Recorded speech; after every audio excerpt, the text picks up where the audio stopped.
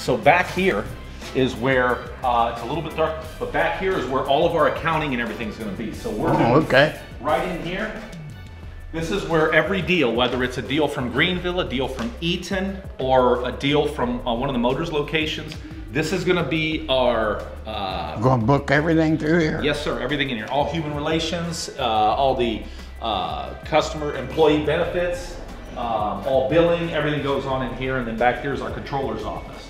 She, she's, well, you know what the controller does. The Yeah. So yeah, Just make a nice size for them. yeah. So we're hoping in here we're gonna have about five people that are working in this area right here. We'll have all the deals, everything, all the funding, everything goes through here. So try to have a, a centralized location to um, use some of the synergies of all the stores and bring all that, bring all that here. So excited about that. Tell, tell him what you do.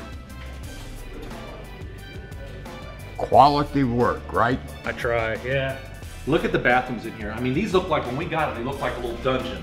And uh, they went with the white marble. And uh, hey, Ron, go on in there. It might be one Let of the me- only times you can go in the girls' bathroom.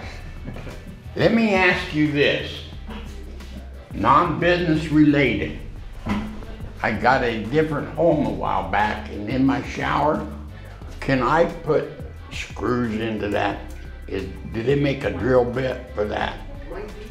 Make a hole saw. You can, See, I, all I got, Use a drill cow holders are all stick on. They fall off. you could use a drill bit, but How else would you fasten them on there? might get a couple splinters in the tile. Okay, You'd have to be careful. back, back to my tour. Hey, can I make a suggestion? Yes, sir. Hire somebody who knows what they're doing. Exactly. That's what I did.